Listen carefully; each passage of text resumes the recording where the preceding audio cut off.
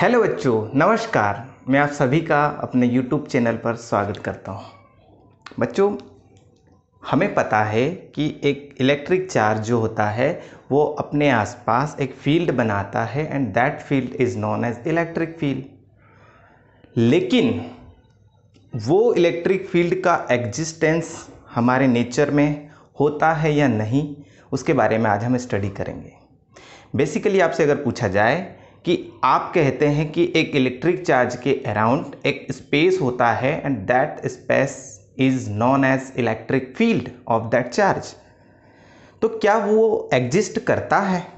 तो यस इसका एक फ़िज़िकल एग्जिस्टेंस होता है हमारे नेचर में। जैसे मैंने आपको एक टावर वाला एग्ज़ाम्पल दिया था पिछले वीडियो में और बताया था कि एक जो टावर होता है मोबाइल टावर वहाँ पर एक मशीन से इलेक्ट्रिक चार्जेस को एसेलरेट कराया जाता है। उससे एक इलेक्ट्रिक फ़ील्ड और एक मैग्नेटिक फ़ील्ड का एक कॉम्बिनेशन तैयार होता है, यानी कि वहाँ पर एक वेव क्रिएट हो जाती है दैट इज़ इलेक्ट्रोमैग्नेटिक वेव अगर वहाँ इलेक्ट्रिक चार्ज को एसेलरेट नहीं कराया जाता तो इलेक्ट्रिक चार्ज से जो एसोसिएट इलेक्ट्रिक फ़ील्ड है, वो भी एसेलरेट नहीं होती। है ना? तो वहाँ पर जब एक चार्ज को एसलरेट कराया जाता है तो उसके साथ इलेक्ट्रिक फ़ील्ड भी एसलरेट होता है। और वो एसलरेशन आपके मोबाइल तक आता है और हमारे मोबाइल में एक सर्किट होता है। वो सर्किट उस आने वाली इलेक्ट्रोमैग्नेटिक वेव को डिटेक्ट करता है और एक रिंग बजती है हमारे फ़ोन में। जब फ़ोन हमारे या कॉल हमारे फ़ोन पर आती है। तो अल्टीमेटली अगर वहाँ से उसका एग्जिस्टेंस नहीं होता तो आपके फ़ोन में रिंग नहीं बजती, आपके फ़ोन का डिस्प्ले ऑन नहीं होता। अल्टीमेटली ये कहा जाता है कि इलेक्ट्रिक चार्ज इलेक्ट्रिक फ़ील्ड बनाता है तो उसका एग्जिस्टेंस भी होता है। बट वो तो हमें दिखता नहीं है। तो इसलिए वो एक इमेजनरी फ़ील्ड होता है इमेजनरी एक स्पेस होता है उसके आसपास। तो अगर आपको मैं वो स्पेस पढ़ाना चाहता हूँ, वो फ़ील्ड बताना चाहता हूँ तो मुझे एक तरीका चाहिए ना उसको एक्सप्रेस करने का। अगर मैं यहाँ पर एक चार्ज रखता हूँ तो इसके चार्ज के आसपास एक फ़ील्ड तैयार होगा। लेकिन वो दिखता तो है नहीं तो उसको एक्सप्रेस कैसे करूँगा? आप समझ कैसे पाएँगे? जैसे मैं कुछ चीज़ आपको बताना चाहता हूँ तो उसके लिए मेरे पास एक ज़रिया है, एक मीडियम है, मेरी लैंग्वेज मेरी लैंग्वेज से आप उस चीज़ को एक्सेप्ट कर पाएँगे, समझ पाएँगे। तो फिर इलेक्ट्रिक फ़ील्ड के लिए लैंग्वेज क्या होगी? वो आज हम स्टडी करेंगे और उसके लिए हम एक ड्राइंग का यूज़ करेंगे। यानी कि इलेक्ट्रिक फ़ील्ड को अब जब मुझे शो करना होगा, इस बोर्ड पर आपको बताना होगा तो मैं एक ड्राइंग का यूज़ करूँगा। यानी कि उस ड्राइंग से मैं आपको ऐसे बता सकता हूँ कि ये इलेक्ट्रिक फ़ील्ड है। तो अल्टीमेटली आज का जो हमारा टॉपिक है, वो इलेक्ट्रिक फ़ील्ड की लाइंस पर है। यानी कि ड्राइंग अगर मुझे इलेक्ट्रिक फ़ील्ड को शो करना है तो मैं लाइंस के अकॉर्डिंग उसे शो करूँगा। उन लाइन्स से ये पता चलेगा कि यहाँ पर अगर आप एक इलेक्ट्रिक चार्ज रखते हो तो उस पर एक फोर्स फील होगा और जिस डायरेक्शन में भी वो फोर्स फील करेगा, वही उस लोकेशन पर इलेक्ट्रिक फ़ील्ड की डायरेक्शन होगी। तो अल्टीमेटली हमारा जो आज का टॉपिक है, वो है इलेक्ट्रिक फ़ील्ड लाइंस क्या नाम है? इलेक्ट्रिक फ़ील्ड लाइंस है ना? लाइंस मतलब मैं इलेक्ट्रिक फ़ील्ड को शो करना चाहता हूँ। लाइंस ड्रॉ करके ड्राइंग करके, ताकि आप, मैं जो चीज़ बता रहा हूँ, उसे एक्सेप्ट कर सकें, उसे समझ सकें। अदरवाइज़ जब वो इमेजनरी है तो मैं आपको बता नहीं सब पाऊँगा और आप उसे समझ नहीं पाएँगे। इसलिए हम लाइंस का यूज़ करेंगे। तो सबसे पहले बात यह आती है कि अगर हमारे पास एक इलेक्ट्रिक चार्ज है प्लस तो इसके आसपास की जो इलेक्ट्रिक लाइंस होती है, वो कैसे होगी? तो हम क्या करते हैं, इसके चार्ज के आसपास एक चार्ज रख के देखते हैं यहाँ। है ना? ये चार्ज जो मैंने दूसरा वाला प्लेस किया है दैट इज़ टेस्ट चार्ज मैं बार बार आपको बताता हूँ कि अगर हम टेस्ट करने के लिए कोई चार्ज का यूज़ करेंगे तो वो टेस्ट चार्ज होगा। तो जैसे ही मैं यहाँ पर रखता हूँ तो ये चार्ज जो है प्लस होने की वजह से यहाँ पर भी एक प्लस चार्ज, ये इसको रिपेल करेगा इन दिस डायरेक्शन और जिस भी डायरेक्शन में वो उसे रिपेल करता है अल्टीमेटली वहाँ पर इलेक्ट्रिक फ़ील्ड की प्रेजेंस है। और इलेक्ट्रिक फ़ील्ड क्या है? फोर्स का मेज़रमेंट यानी कि फोर्स की जो डायरेक्शन होगी, वही इलेक्ट्रिक फ़ील्ड की डायरेक्शन होगी। तो अल्टीमेटली इस चार्ज पर ये जो डायरेक्शन है ना बच्चों, ये किसकी डायरेक्शन है? इलेक्ट्रिक फ़ील्ड की डायरेक्शन है। तो उस इलेक्ट्रिक फ़ील्ड को मुझे लाइन्स से बताना है। यानी कि लाइन में मुझे उसको ड्रॉ करना है। तो ड्रॉ करने के लिए मैं एक सिंपल सा तरीका यूज़ करता हूँ, एक लाइन बना देता हूँ, ऐसा। देख लीजिए, ये। यानी कि अब ये लाइन किसको शो करेगी? इलेक्ट्रिक फ़ील्ड को। जबकि अभी तक हम केवल इमेजिन करते थे कि चार्ज है इसके आसपास एक स्पेस होगा, उस स्पेस में उसकी फ़ील्ड होगी। यहाँ पर हमने क्या देख लिया है? यहाँ पर हमने ये देखा है कि ये इलेक्ट्रिक फ़ील्ड की डायरेक्शन हो गई।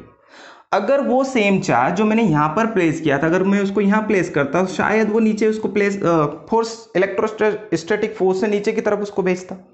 यानी कि यहाँ पर देखो डायरेक्शन बदल गई इलेक्ट्रिक फ़ील्ड की। मैंने लाइन के अकॉर्डिंग उसको शो कर दिया कि भाई इस डायरेक्शन में इलेक्ट्रिक फ़ील्ड नीचे की तरफ़ होगा। अगर मैं उस चार्ज को यहाँ प्लेस करता तो ये इलेक्ट्रिक फ़ील्ड ऊपर जाता। यानी कि हर लोकेशन पर इलेक्ट्रिक फ़ील्ड उस चार्ज के आसपास डिफरेंट डायरेक्ट डिफरेंट डायरेक्शन में होती है। यहाँ पर अगर उसको मैं प्लेस करता हूँ तो ये उसकी डायरेक्शन होती यहाँ प्लेस करता तो ये, देख लीजिए आप, ये अलग अलग डायरेक्शन में चार्ज चार्ज के ऊपर एक फोर्स फील होता है and the force gives the direction of electric field okay तो ये इलेक्ट्रिक फ़ील्ड की डायरेक्शन है। तो अब अब हमको यहाँ पर एक चीज़ पता चल गई कि प्लस चार्ज से इलेक्ट्रिक फ़ील्ड लाइंस बाहर की तरफ़ निकलती है। बाहर की तरफ़ कैसे निकल रही है? तो ये हो जाएगी रेडियल आउटवर्ड तो ये वर्ड हम यूज़ करेंगे कि प्लस चार्ज से इलेक्ट्रिक फ़ील्ड लाइंस आती है, निकलती है रेडियली तो हम यहाँ पर एक कंसेप्ट सीख गए हैं। दूसरा कंसेप्ट अगर मान लीजिए बच्चों की यहाँ नेगेटिव चार्ज होता देन वॉट विल हैपन इस केस में इलेक्ट्रिक फ़ील्ड लाइन को कैसे समझेंगे? तो जो टेस्ट चार्ज हमने प्लस चार्ज के लिए अप्लाई किया था, वही हम यहाँ पर प्लेस करके देखते हैं बच्चों। तो यहाँ पर मैंने प्लस क्यू टेस्ट चार्ज जो रखा, वो फोर्स फील करता है in this direction and the direction gives the direction of electric field है ना? जो फोर्स की डायरेक्शन होती है, वही इलेक्ट्रिक फ़ील्ड की डायरेक्शन होती है। तो ये इस लोकेशन पर हमको इलेक्ट्रिक फ़ील्ड की डायरेक्शन इधर देता है। तो सोचो, अगर मैं यहाँ चार्ज रखता तो ये इस तरफ़ चला जाता, यहाँ रखता तो इस तरफ़, यहाँ रखता तो इस तरफ़। ये देख लीजिए बच्चों, ये हो गई इलेक्ट्रिक फ़ील्ड की direction by the negative charge तो नेगेटिव चार्ज और पॉजिटिव चार्ज में थोड़ा सा डिफरेंस है। देख लीजिए कि क्या डिफरेंस है कि प्लस चार्ज से इलेक्ट्रिक फ़ील्ड लाइंस जो कि इमेजनरी होती है, लेकिन हम उसको ड्राइंग से शो कर रहे हैं, वो रेडियली आउटवर्ड होती है। इस वाले केस में यहाँ पर आपको देख रहा है, दिख रहा है कि यहाँ पर जो इलेक्ट्रिक फ़ील्ड लाइंस हैं दैट इज़ रेडियली इनवर्ड अंदर की तरफ़ चल रही है। अब हमने यहाँ पर एक कंसेप्ट सीख लिया कि जब भी एक पॉइंट चार्ज की बात की जाएगी, ये कौन सा चार्ज है बच्चों? पॉइंट चार्ज पॉइंट चार्ज से निकलने वाली इलेक्ट्रिक फ़ील्ड लाइंस की जो डायरेक्शन होगी, वो प्लस चार्ज के लिए रेडियली आउटवर्ड माइनस चार्ज के रेडियली इनवर्ड ये दो कंसेप्ट होते हैं तो हम इन्हें वर्ड्स में भी लिख लेते हैं.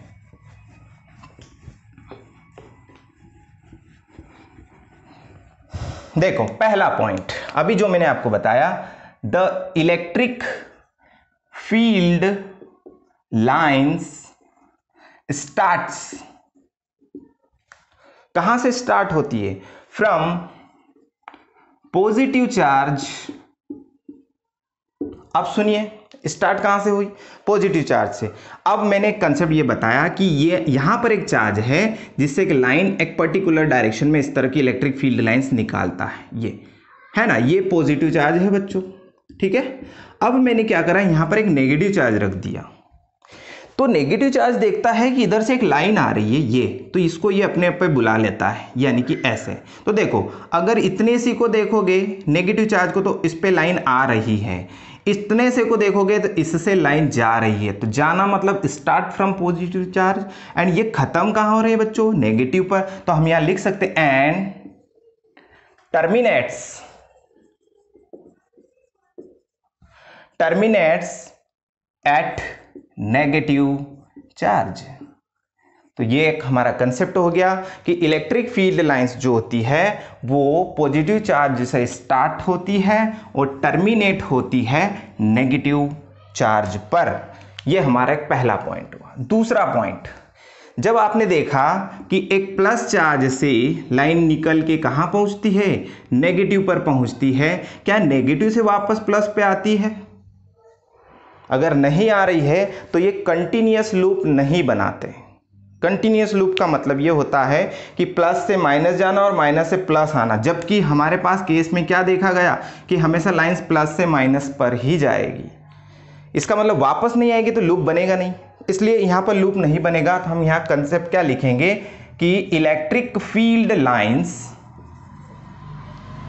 does not make any loop ये एक लूप तैयार नहीं करती बच्चों, ठीक है? ये बात आपको ध्यान रखना है। नेक्स्ट जो पॉइंट आएगा तीसरे नंबर का, वो थोड़ा सा देखिए। अगर मान लो एक लाइन ऐसी है, ये किसकी लाइन है?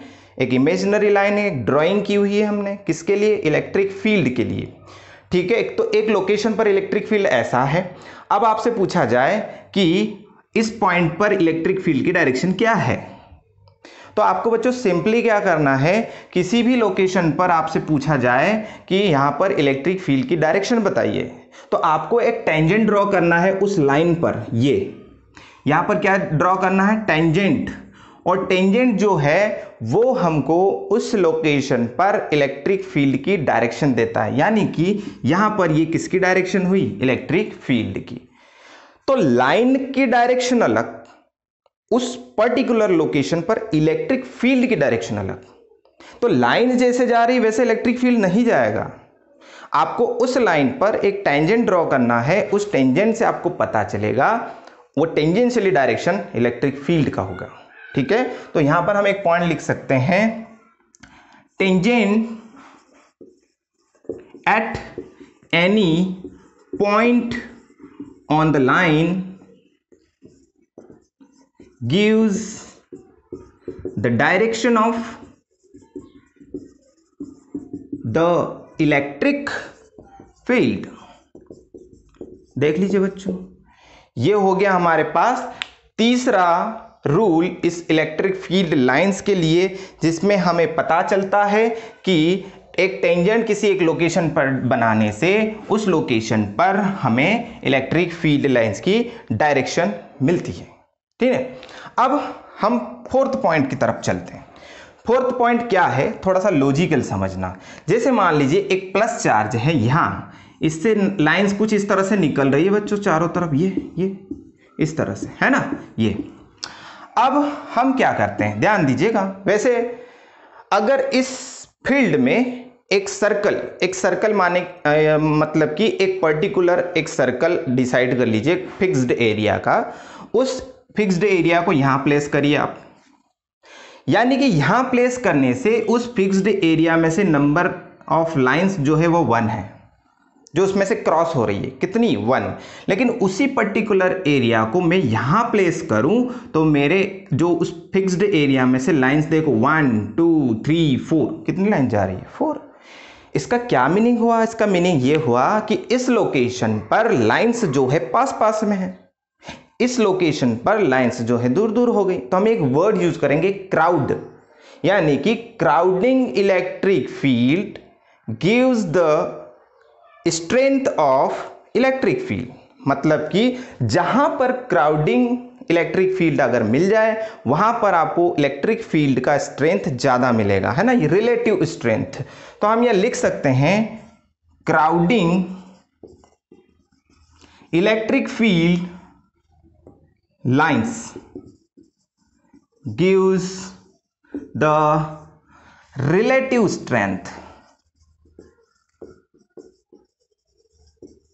of the electric field याद आया बच्चों आपको कुछ है ना? ये कंसेप्ट आपको सारे के सारे ध्यान रखने हैं।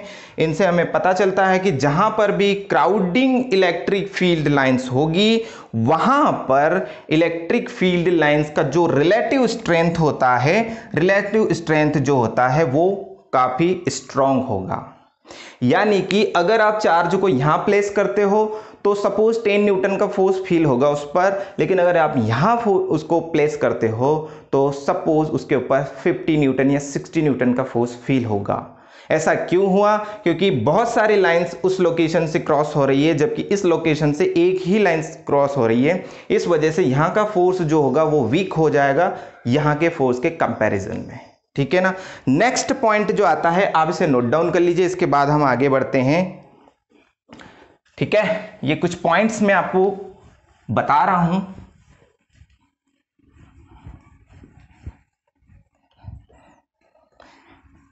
फिफ्थ नंबर का जो है, ये जो फिफ्थ पॉइंट है, वो देखिए क्या होता है। दो लाइंस जो होती है सपोज़ एक ये है और एक ये है। मान लीजिए कि इन्होंने एक दूसरे को इंटरसेक्ट कर दिया। इंटरसेक्ट किया, यानी कि इस लोकेशन पर इंटरसेक्शन लोकेशन है यहाँ पर। इस लोकेशन पर अगर मैं टेंजेंट ड्रॉ करूँ तो उस टेंजेंट से हमें क्या मिलता है? उस टेंजेंट से मिलता है the direction of electric field at that point इसका मतलब अगर दो टेंजेंट सॉरी दो लाइन है तो दो टेंजेंट बनेंगे बच्चों। एक तो ये रहा, यानी कि इस लोकेशन पर इलेक्ट्रिक फ़ील्ड E1 और इस टेंजेंट के लिए यहाँ पर ये रही डायरेक्शन इलेक्ट्रिक फ़ील्ड E2 तो क्या एक लोकेशन पर दो इलेक्ट्रिक फ़ील्ड की डायरेक्शन पॉसिबल है? यानी कि ये कहूँ कि अगर मैं यहाँ पर चार्ज प्लेस करूँगा ना तो इलेक्ट्रिक फ़ील्ड के कारण उस पर फोर्स लगेगा। और फोर्स किस डायरेक्शन में लगेगा? इस डायरेक्शन में और इस डायरेक्शन में। तो क्या एक चार्ज पर दो फोर्स फील हो सकते हैं? तो ये पॉसिबल नहीं है। और अगर ऐसा पॉसिबल नहीं है तो ये दो लाइनें भी एक दूसरे को इंटरसेक्ट नहीं कर सकती। तो हम यहाँ पर वो पॉइंट ही बना लेते हैं। क्या लिखेंगे? Two electric field lines. Never intersect each other. यानी कि ये एक दूसरे को नहीं काट सकती। ये हमारा कंसेप्ट है। चलिए नेक्स्ट यानी कि सिक्स जो पॉइंट है, ये सब सारी प्रॉपर्टीज़ है उन इलेक्ट्रिक फ़ील्ड लाइंस की जो इमेजनरी होती है, लेकिन हम उसको ड्राइंग से समझ रहे हैं, ये इस तरह की लाइंस बनाकर। ठीक है? तो नेक्स्ट जो पॉइंट है, वो है कि इलेक्ट्रिक फ़ील्ड लाइंस जो होती है, वो हमेशा राइट एंगल पर किसी भी सरफेस से निकलती है। अगर वो प्लस से निकल रही है तो भी 90 डिग्री पर, यानी कि राइट एंगल पर उस सरफेस से निकलेगी। अगर नेगेटिव पर वो टर्मिनेट हो रही है तो भी उस सरफेस के साथ 90 डिग्री बनाकर ही टर्मिनेट होगी। तो कैसे? जैसे कि मान लीजिए हम यहाँ पर लिख सकते हैं कि ये एक सरफेस है, ये। ठीक है ना? इस सरफेस पर हमने चार्जेस दे दिए। ये एक कंडक्टिंग मटेरियल है, यानी कि ये कंडक्टर है। अब कंडक्टर की प्रॉपर्टी ये होती है बच्चों कि जब इसको चार्ज दिया जाएगा तो इसका चार्ज जो है सरफेस पर फैल जाता है ड्यू टू रिपल्शन फोर्स क्योंकि ये ऐसा चाहते हैं कि ऐसी लोकेशन पर जाके सेट हो जाए, जहाँ पर उनको कम से कम फोर्स फील हो बाकी चार्जेस के कारण, जो कि रिपल्शन फोर्स होता है। तो ये सारे जो चार्जेस हैं, ये ऐसे सरफेस पर आ जाते हैं और आकर सेट हो जाते हैं स्टैटिक हो जाते हैं, क्योंकि उनके ऊपर चारों डायरेक्शन में फोर्स फील होते हैं। यानी कि अगर हम देखें तो मैं काम करता हूँ इसको, इन चार्जेस को अंदर शो कर देता हूँ थोड़ी देर के लिए। ऐसे एयर में तो आएँगे नहीं, क्योंकि बाहर क्या है? एयर एयर उसको अलाउ नहीं करेगी चार्जेस को, क्योंकि वो इंसुलेटेड है। तो चार्जेस जो हैं इसके, वो ऐसे अंदर है। ये, इस तरह से, है ना? आसपास। अंदर, यानी कि सेंटर पर नहीं रहेंगे वो। हमेशा चार्जेस जो है, वो रिपल्सन के कारण सरफेस पर दौड़ के आ जाते हैं, लेकिन एयर में नहीं जाते। तो सोचना, इस चार्ज पर अगर मैं फोर्स की बात करूँ फोर्स की बात करूँ तो कितना फोर्स लग रहा है? देखो, इस इस चार्ज पर इधर से भी फोर्स लग रहा है, रिपल्शन, और इधर से भी लग रहा है रिपल्शन। तो ये भाई साहब दोनों तरफ़ से फंस गया है। ना तो इधर जा पाएगा, ना इधर जा पाएगा, क्योंकि इधर जाएगा तो ये वाला फोर्स लगाएगा, इधर जाएगा तो ये वाला फोर्स लगाएगा। यानी कि इसके ऊपर नेट फोर्स कितना होता है बच्चों? ज़ीरो। कितना? तो हम ये लिख सकते हैं कि नेट फोर्स जो होता है किसी भी चार्ज पर, किसी कंडक्टिंग मटेरियल के अंदर, वो ज़ीरो होता है। अगर वो ज़ीरो नहीं होता ना तो वो चलने लग जाता। है और जब चार्ज मूव करने लग जाए तो फिर वो एक नई ब्रांच आ जाती है जिसको हम इलेक्ट्रिसिटी पढ़ते हैं। तो यहाँ तो स्टैटिक पढ़ रहे हैं हम। इसका मतलब चार्ज चल नहीं सकता। तो ये चार्ज रेस्ट पर आता है। तो आप अगर सोच रहे हैं कि अगर वो लाइन जो इसके अंदर से निकलेगी इस चार्ज के कारण, वो लाइन देखो, ना तो ये ये इसकी लाइन जो होती है रिपेल करके उसकी लाइन को इधर इधर आने नहीं देगी, इधर वाला भी आने देगा। तो इसकी लाइन बाहर की तरफ़ निकलती है। अब मेरा क्वेश्चन ये है कि ये 90 डिग्री पर क्यों निकलेगी? सोचो, अगर 90 पर नहीं निकले तो क्या ऐसे निकलेगी? तो अगर ये ऐसा निकल रही, यानी कि ये हो गई इलेक्ट्रिक फ़ील्ड तो इस इलेक्ट्रिक फ़ील्ड ने सोचो इसके साथ थीटा एंगल बनाया इस सरफेस के साथ। अगर ऐसे निकल ऐसे, निकलेगी थीटा एंगल पर सरफेस का तो थीटा का कंपोनेंट ये वाला कितना हो जाएगा? ई कॉस थीटा और ऊपर वाला कितना हो जाएगा बच्चों? ई साइन थीटा ठीक है? तो इस चार्ज जो Q है इस Q पर जो फोर्स होता है वो होता है Q इंटू ई है ना? तो ध्यान दीजिएगा Q इंटू ई तो आपका क्वेश्चन ये है कि क्या ये वाली इलेक्ट्रिक फ़ील्ड सही है, जो कि राइट एंगल पर सरफेस से निकल रही है? कि ये वाली सही है? अगर ये वाली सही आपको लगती हो तो मैं यहाँ पर इसको कॉस थीटा रख के देख लेता हूँ। और ये जो नेट फोर्स होता है, वो तो कितना है उस पर? ज़ीरो इसके लिए हमारे पास इक्वेशन ये आ गया। या तो Q E cos theta is equal to zero अब सोचना बच्चों, इस इक्वेशन में क्यू ज़ीरो नहीं है। Not equal to zero E भी ज़ीरो नहीं है नॉट इक्वल टू ज़ीरो तो फिर ज़ीरो कौन होगा भाई साहब? तो ये हो जाएगा कॉस थीटा यानी कि ज़ीरो और कॉस ज़ीरो कब होता है? जब थीटा की वैल्यू 90 डिग्री हो, इसका मतलब theta should be 90 degree at that location theta हमेशा कितना होना चाहिए? 90 डिग्री। और 90 पर कौन है? देखो, ये है। यानी कि ये लाइन सही है, ये वाली गलत है। इससे हमको पता चलता है कि इलेक्ट्रिक फ़ील्ड लाइंस जो होती है, हमेशा राइट एंगल पर ही किसी भी सरफेस से निकलेगी। ठीक है? चलिए, इसको हम नोट कर लेते हैं। तो हम लिखेंगे, electric field lines comes at right angle to the surface तो अगर वो चार्ज की सरफेस से भी निकल रही है तो भी वो 90 डिग्री पर ही निकलेगी। ये बात आपको ध्यान रखना है, ऐसे देख लीजिए। ये ऐसे, ये लाइन निकली। इधर से जाएगी तो ये लाइन निकली। आप देखेंगे कि ये सभी 90 डिग्री पर ही निकलती है बच्चों, देखो। सरफेस पर आप कहीं पर भी देख लीजिए, ये अगर सरफेस से टेंजेंट बनाओ ये 90 डिग्री, यहाँ बनाओ ये भी 90 डिग्री, कहीं भी आप बना लो 90 डिग्री ही मिलेगा आपको, ठीक है? और और नेगेटिव चार्ज पर आती है ना लाइंस तो भी देखो ये कैसे आई 90 डिग्री पर, इधर से भी अगर आएगी तो भी कितने पर आएगी 90 डिग्री तो ये रूल आपको ध्यान रखना है, चलिए। इसके बाद हम देखते हैं कि जो इलेक्ट्रिक लाइन्स होती ना, ये एक रबर की तरह बिहेव करती है, कि स्ट्रिंग की तरह बिहेव करती है। कैसे? जैसे मान लीजिए, हमको पता है कि दो बॉडी ले लीजिए आप। ए और एक बॉडी ये हो गई बी इनको एक रबर से बांधा हुआ है आपने, ऐसा। रबर क्या चाहता है? रबर इस, इन दोनों को पास में लाना चाहता है। ऐसे ऐसे। फोर्स लगा के। है ना? इस लाइन को पकड़ के मैं ऐसे करा दूँ स्ट्रेच आप ध्यान देना। तो ये स्ट्रेच तो हो जाएगी। लेकिन उसमें एक प्रॉपर्टी आ जाएगी। वो स्ट्रेच वाली जो लेंथ बड़ी है, वो उसको डिक्रीज करना चाहेगा। और डिक्रीज करने के चक्कर में ये फोर्स ये जो बॉडी है ए और बी ये पास में आना चाहेगी। हम देखते हैं ना, अगर रगर रबर को अगर हमने खींच रखा है तो दो बॉडी आपस में पास में आना चाहेगी, क्योंकि रबर की एक प्रॉपर्टी होती है कि वो अपनी लेंथ को वापस डिक्रीज करना चाहता है जितना वो पहले था। ठीक है? सेम चार्ज के साथ भी होता है। सोचना कि अगर ये बॉडी ए है, जिसके ऊपर कुछ चार्ज है प्लस चार्ज और दूसरी बॉडी है बी जिसके ऊपर माइनस चार्ज है, इनके बीच में एक लाइन होती है है ना? जैसे कि प्लस से निकलती है और कहाँ हो जाती है? माइनस पर। ये कौन सी लाइन हो गई? इलेक्ट्रिक फ़ील्ड लाइन हो गई। तो ये इलेक्ट्रिक फ़ील्ड लाइन भी क्या करती है? मान लीजिए अगर ऐसी है ना तो ये अपने आप को डिक्रीज करना चाहती है, और डिक्रीज करने के चक्कर में फोर्स चार्जेस पर फील होना शुरू हो जाता है। और हमें ऐसा लगता है कि इनके बीच में एक फोर्स लग रहा है, लेकिन फोर्स इलेक्ट्रिक फ़ील्ड लाइन के चक्कर में लगता है। इलेक्ट्रिक फ़ील्ड लाइंस की एक प्रॉपर्टी होती है कि वो अपनी लेंथ को डिक्रीज करना चाहती है। तो अपनी लेंथ को डिक्रीज किस वजह से करेगी? इन चार्जेस को पास में बुला लेगी। और पास में बुलाने से उनके बीच की डिस्टेंस कम हो जाएगी। यानी कि वो स्ट्रिंग ये, इसको मैंने एक स्ट्रिंग बोला हुआ है, उस लाइन को इलेक्ट्रिक फ़ील्ड लाइन को, वो अपने आप को डिक्रीज कर लेती है। और इस केस में हम कहते हैं कि दो चार्ज के बीच में फोर्स काम करता है दैट इज़ अट्रैक्टिव फोर्स और रिपल्सिव फोर्स तो बेसिकली वो लाइन की प्रॉपर्टी होती है कि भाई वो लेंथ को कम करना चाहती है और कम करने के चक्कर में चार्जेस को पास में बुला लेती है। है ना? तो हम यहाँ पर पॉइंट लिख सकते हैं कि field lines behave like a stretched string क्या लिखेंगे हम? Behave like a stretched string है ना? Electric field lines behave like stretched string.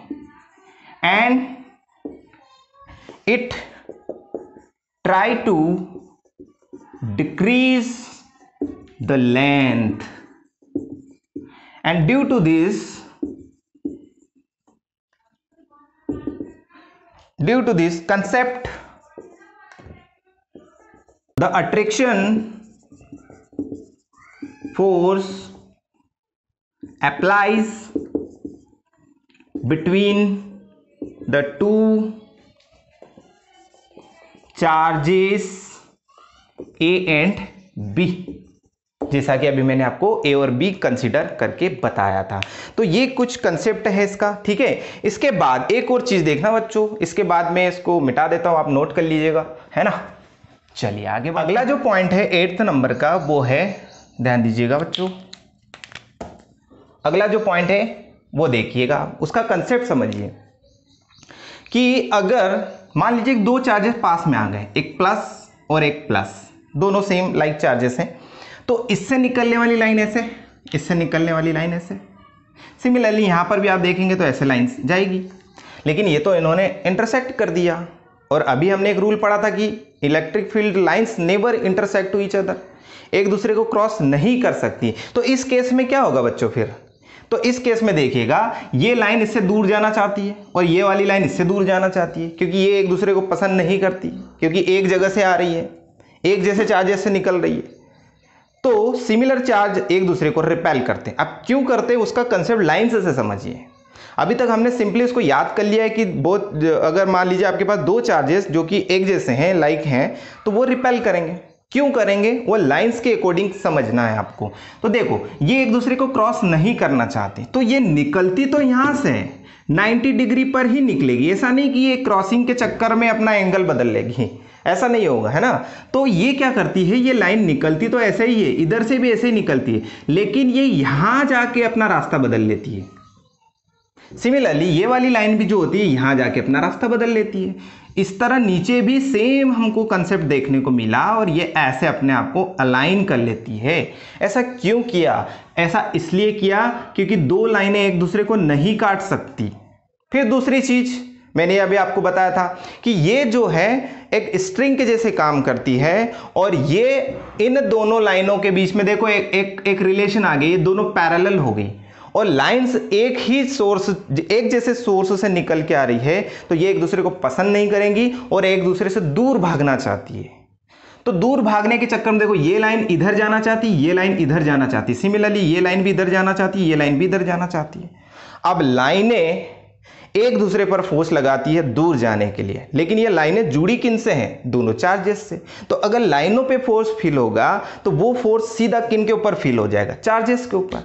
तो लाइनों के बीच में रिपल्सन होने की वजह से वो रिपल्सिव फोर्स चार्जेस पर आके फील होने लगता है और हम अल्टीमेटली क्या देखते हैं कि दो चार्जेस एक दूसरे से दूर हो जाते हैं।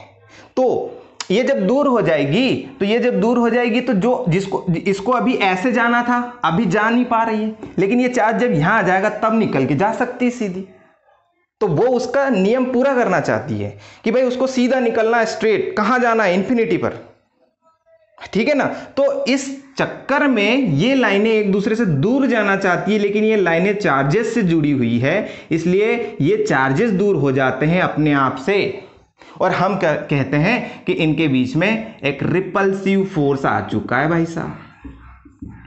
तो बच्चों रिपल्सिव फोर्स या अट्रैक्शन फोर्स किस वजह से लगता है? लाइनों की वजह से लगता है, लाइनों के बिहेवियर की वजह से लगता है है ना? ऐसे ही नहीं लग जाता है। तो हम यहाँ पर इसका एक पॉइंट लिख सकते हैं। इस पॉइंट से हमें पता चलता है कि जब भी दो लाइन, दो लाइनें एक जैसी होगी, वो एक दूसरे से दूर जाना चाहती है, जिसकी वजह से वो फोर्स जो है चार्जेस पर फील होता है और चार्जेस एक दूसरे को दूर भेज देते हैं। The field lines laterally repel each other field lines जो होती है लेटरली यानी कि ये एक दूसरे को रिपेल करती है। दैट इंडिकेट जो हमें इंडिकेट करता है the force of repulsion between the similar charges इस तरह से हमें इंडिकेट होता है कि दो सिमिलर चार्जेस के बीच में एक रिपल्सिव फोर्स होता है। ठीक है ना? अच्छा आज हमने इसका जो पूरा जो पॉइंट थे, ये स्टडी कर लिए हैं। अब अगला जो टॉपिक है, वो हम पढ़ेंगे। इलेक्ट्रिक फ़ील्ड लाइंस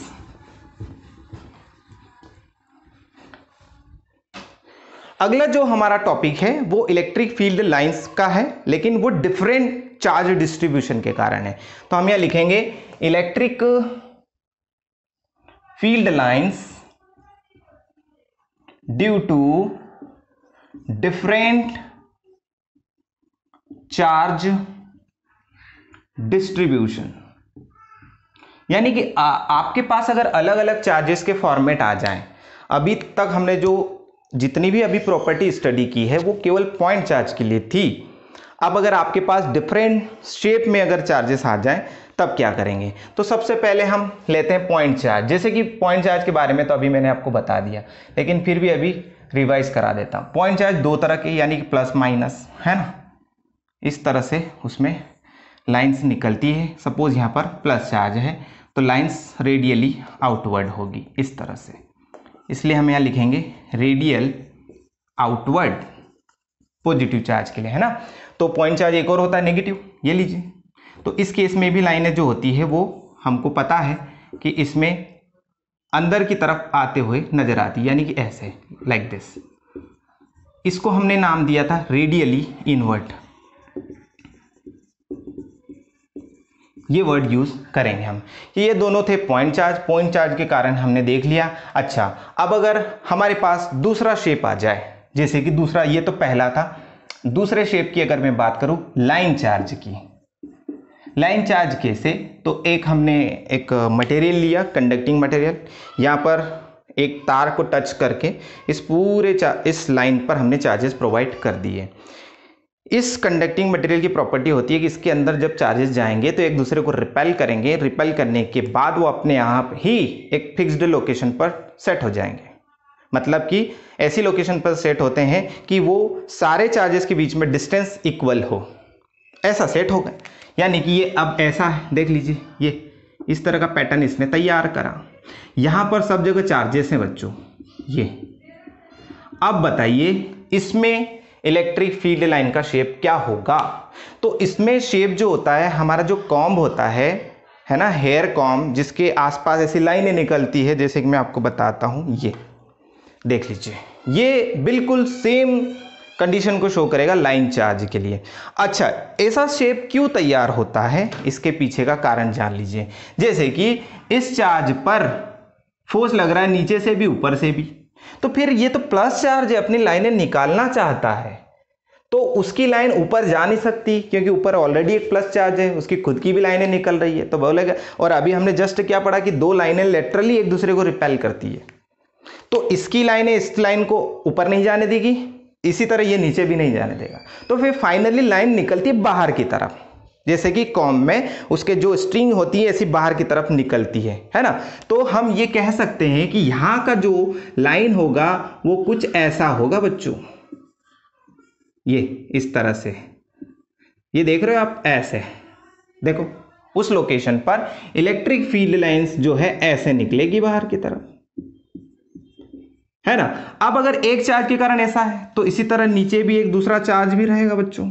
ये तो वो भी तो अपनी लाइनें निकालेगा इस तरह से। सभी जगह ऐसे होता है, हर चार्ज के लिए ऐसी लाइनें निकलती है, और हम फाइनली देखते हैं कि एक सिलेंडर तैयार हो गया उन लाइंस का। तो यहाँ पर एक सिलेंड्रिकल फॉर्म तैयार होता है। ध्यान दीजिएगा, एक सिलिंड्रिकल फॉर्म तैयार हो गया। अब सुनो कि लास्ट वाला जो चार्ज है, इसको नीचे से रिपेल कर रहा है, लेकिन ऊपर तो कोई है ही नहीं। तो इसको तो परमिशन है ना अपनी लाइंस को ऊपर भेज सकता है। इसलिए क्या करेगा कि ये जो अपनी कुछ लाइनें ऐसे भेज देगा बच्चों, देखो, ये। तो ऊपर जो लाइंस होती है ना, वो करली हो जाती है। ये, इसी तरह नीचे भी सेम पैटर्न तैयार होगा। क्योंकि इनके नीचे कोई चार्ज नहीं है तो उसको कोई रिपल्सन नहीं मिलता है। इस तरह से यहाँ पर एक ऐसा फॉर्मेट तैयार होता है सिलिंड्रिकल फॉर्मेट तैयार होता है। इलेक्ट्रिक फ़ील्ड लाइंस का, है ना? चलिए, ये एक दूसरा हमारे पास एक लाइन चार्ज था, जिसकी वजह से हमने अभी उसका इलेक्ट्रिक फ़ील्ड लाइन का कंसेप्ट सीखा है। नेक्स्ट जो है, एक स्फेयर है। एक स्फेरिकल बॉडी है, यानी कि थर्ड नंबर पे हम बात करेंगे एक स्फेरिकल बॉडी की। देख लीजिए क्या होता है, ठीक है? तीसरा, इसमें हम बात करेंगे किसी एक स्फेयर की। तो चलिए स्फेयर ले लीजिए भाई साहब। स्फेयर कैसा है? होलो है। ये देख लीजिए। अब हमने इसको जैसे चार्जेस दिए चार्ज की क्या प्रॉपर्टी होती है? रिपल्शन के कारण वो सरफेस पे भागना चाहता है। सरफेस पे भागकर ऐसी डिस्टेंस कवर करता है अपने आसपास वाले चार्जेस की, जो कि इक्वल हो, यानी कि इक्वी डिस्टेंस पर वो आ जाते हैं। तो ये सब चार्जेस हैं इस तरह से, ये, है ना? तो इन चार्जेस को मैं अभी यहाँ बता देता हूँ, ये लीजिए। अब आप सोचेंगे कि यहाँ ना तो एक सिंगल चार्ज है, जिसकी वजह से मैं फट से इलेक्ट्रिक फ़ील्ड को शो कर दूँ, है ना? ये चार्जेस तो ऐसे डिस्ट्रीब्यूट हो रखे हैं इस लाइन चार्ज के अकॉर्डिंग तो इनका इलेक्ट्रिक फ़ील्ड कैसा होगा फिर? तो ध्यान दीजिएगा। ये चार्ज देखता है कि अपने बगल में भी एक चार्ज है, नीचे भी एक चार्ज है तो भाई इनकी लाइनों वो अलाउ तो करेंगे नहीं। और अगर लाइन निकाल भी दी तो वो लेटरली रिपल्शन के कारण सीधी निकल जाएगी। है ना? अपने आप को अलाइन करके दूर हो जाएगी वो। तो इसकी जो लाइन निकलती वो ऐसे निकलती है। तो सुनना, इसकी ऐसी निकल रही थी ये भी ऐसे निकलेगी, ये भी ऐसे निकलेगी। ये इस तरह से लाइंस बाहर की तरफ़ निकल जाती है। ये अब आप सोच रहे होंगे कि, सर, इसके अंदर लाइनें नहीं जाती क्या? तो ध्यान दीजिए बच्चों, इलेक्ट्रिक फ़ील्ड जो होती है, एक वेक्टर क्वांटिटी होती है और ये लाइनें भी वेक्टर को फॉलो करेगी। तो सोचो कि अगर ये लाइन अंदर जाती, अंदर से आती तो ये भी तो आ रही है। और due to different direction and same magnitude it will cancelled out ये एक दूसरे को क्या कर जाएँगी? कैंसिल कर जाएँगी। इसलिए अंदर कोई लाइन एंटर नहीं करेगी। तो अगर कोई लाइन नहीं है बच्चों यहाँ पर, इसका मतलब यहाँ पर इलेक्ट्रिक फ़ील्ड ज़ीरो है। यानी कि किसी होलो स्फेयर के अंदर इलेक्ट्रिक फ़ील्ड ज़ीरो होता है, ये बात दिमाग में डाल लीजिए। इसका मतलब यहाँ पर इलेक्ट्रिक फ़ील्ड कितना हो गया? ज़ीरो क्योंकि अगर मैं यहाँ पर एक चार्ज को प्लेस करूँगा तो उसके ऊपर कोई फोर्स नहीं होगा। और अगर कोई फोर्स नहीं होगा तो हम क्या कहेंगे? There is no electric field when there is no electric electrostatic force है ना? तो ये बात आपको ध्यान रखना है। चलिए, ये पॉइंट भी हो गया। इसके बाद हम और समझते हैं थोड़ा सा कंसेप्ट यहाँ पर एक चीज़ बच्चों, आपको ध्यान रखना है। इसमें भी क्या कंसेप्ट आ रहा है? रेडियली आउटवर्ड तो यार रेडियली आउटवर्ड तो अभी हमने जस्ट कहीं ना कहीं पढ़ा था। किसके लिए? पॉइंट चार्ज के लिए। इसका मतलब एक होलो स्फीयर जो होता है, वो बिहेव करता है लाइक अ पॉइंट चार्ज आपको यहाँ लिख लेना है है ना? क्या लिखेंगे? द स्फेयर और स्फेरिकल बॉडी ऐसा लिखेंगे हम। The sphere behave like a point charge किसकी तरफ़ बिहेव करता है? वो पॉइंट चार्ज की तरफ़ बिहेव करता है, जैसे कि रेडियली आउटवर्ड चलिए, आगे बढ़ते हैं, हमारा जो कंसेप्ट है, अगला वो देखते हैं, ठीक है? इसके बाद जो हमारा नेक्स्ट पॉइंट है, वो है सरफेस वाली बॉडी यानी कि अगर एक बॉडी के पास एक सरफेस होती है, वो सरफेस अगर प्लेन है तो उस केस में इलेक्ट्रिक फ़ील्ड लाइंस कैसी होगी? ओके बच्चों तो देखना यहाँ पर, है ना? कौन सा नंबर था? One two three four five वाला होगा शायद। चलिए, देखना इसके बाद। हमने दो प्लेट ले ली ऐसी, ये। इस प्लेट पर हमने चार्जेस दे दिए। कैसे दिए होंगे? देख लीजिए, ये इस तरह से हमने कुछ चार्जेस प्रोवाइड कर दिए। ठीक है ना बच्चों? तो ये चार्जेस प्लस वाले थे भाई साहब। ये देख लीजिए, ये सारे प्लस चार्जेस हैं। इसकी बगल में हमने एक दूसरा जो प्लेट था, वो रख दिया नेगेटिव चार्जेस का। ये हमको पता है कि प्लस और माइनस के बीच में एक इलेक्ट्रिक फ़ील्ड लाइंस ट्रेवल करती है तो ये ऐसे कर गई, ये लो। नहीं आया, ठीक है? ये ऐसी लाइन ट्रेवल कर जाती है। अच्छा ये प्लस से निकलती है माइनस पे टर्मिनेट होती है तो जो हमारी पहली वाली कंडीशन थी, वो ट्रू हो गई यहाँ पर। तो हमने ये देखा कि यहाँ पर इन पर देखना इलेक्ट्रिक फ़ील्ड लाइंस की डायरेक्शन सेम है है ना? तो due to same direction of field lines है ना? अब अगर वो सर्कल यहाँ रखता हूँ तो भी दो जा रही है यहाँ रखता हूँ तो भी दो, जा रही है यहाँ रखता हूँ तो भी दो जा रही है यहाँ रखू कहीं भी।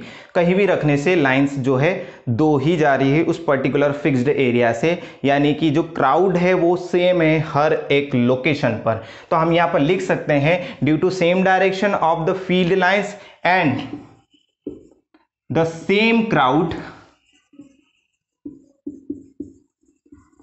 there will be another electric field and we call it uniform electric field देखो एक नया वर्ड आया है यहाँ पर यूनिफॉर्म इलेक्ट्रिक फ़ील्ड यानी यूनिफॉर्म इलेक्ट्रिक फ़ील्ड कब होता है बच्चों?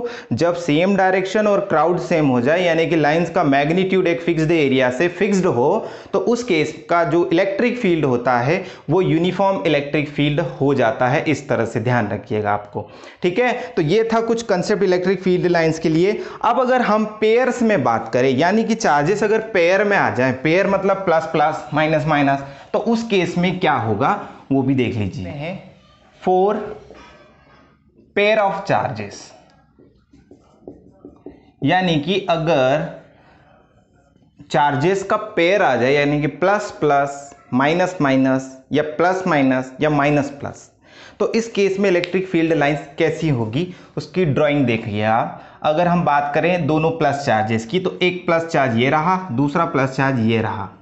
इनके बीच का जो मैंने अभी आपको कंसेप्ट बताया था, वो कुछ ऐसा था कि लाइंस जो थी वो लेटरली रिपेल करती थी। तो अभी हम एक काम करते हैं, एक माइनस ले लेते हैं यहाँ पर, है ना? इस केस में क्या होगी? कंडीशन उन लाइंस के लिए। तो हम एक काम करते हैं, हम अभी तक करते हुए आए हैं कि यहाँ पर एक चार्ज रखते हैं, जिसका नाम है टेस्ट चार्ज जिसके ऊपर जिधर भी फोर्स फील होगा, वही इलेक्ट्रिक फ़ील्ड की डायरेक्शन होगी। तो हमने यहाँ पर जैसे ही हमने क्यू चार्ज को रखा, हम देखते हैं कि प्लस के कारण ये रिपेल हो गया और इस डायरेक्शन में आगे बढ़ा माइनस के अट्रैक्शन के कारण। तो ये अल्टीमेटली इधर जाना चाहता है। अल्टीमेटली ये डायरेक्शन हो गई इलेक्ट्रिक फ़ील्ड की। है ना? इस प्लस और माइनस के बीच में। ठीक? अगर ये चार्ज मैं यहाँ प्लेस करता, तब क्या होता? तो प्लस के कारण इसके ऊपर फोर्स लगता इन दिस डायरेक्शन जो कि पास में, इसलिए मैंने इसका एरो बड़ा बनाया, क्योंकि मैग्नीट्यूड ज़्यादा हो गई है थोड़ा सा दूर है। इसके ऊपर लगाएगा वो अट्रैक्शन फोर्स कम लगाएगा, ऐसा। तो एक लोकेशन पर दो डिफरेंट डायरेक्शन के फोर्सेस पॉसिबल हैं क्या? नहीं। तो इस केस में हम वेक्टर का यूज़ करेंगे, यानी कि इसमें एक रिजल्टेंट डायरेक्शन निकल के आएगी, जो ना तो वो इधर जाएगा, ना इधर जाएगा, कहीं ना कहीं इनके रिजल्टेंट यानी कि बीच में से निकलेगा। तो जो लाइन होती है वो बच्चों ऐसे निकल के यहाँ आ जाती है। ये, देख लीजिए तो ये उसका रिजल्टेंट हो गया, है ना? आर हो गया उस लाइन का। सिमिलरली अगर मैं यहाँ रखता ना तो भी ये लाइन ऐसे ड्रॉ होती। यहाँ पर हम देखते हैं, ऐसे हो जाएगी, थोड़ा और रखोगे, ऐसे हो जाएगी। फिर ये निकालेगा ऐसे लाइनों को, देखो, ये ऐसे। अगर ये ऐसे गई है तो ये गोल घूम के यहाँ से वापस आएगी। सिमिलरली ये ऐसे गई है तो गोल घूम के यहाँ से वापस आएगी। अल्टीमेटली टर्मिनेट उनको होना है नेगेटिव पर ही। ये जाती इन्फिनिटी निकल जाती है। ये आगे बहुत आगे चले जाती है। हो सकता है ये इन्फिनिटी से आ रही हो कहीं से। तो इस तरह से एक लाइनों का पैटर्न तैयार होता है पेयर ऑफ़ चार्ज के लिए ये इस तरह से बच्चों। तो ये कंसेप्ट जो होता है वो प्लस एंड माइनस के लिए। इस तरह की लाइन से ड्रॉ होती है, यानी कि दो पेयर ऑफ़ जो चार्जेस होता है वो डाइपोल कहलाता है, जो कि हमारा आगे टॉपिक आने वाला है।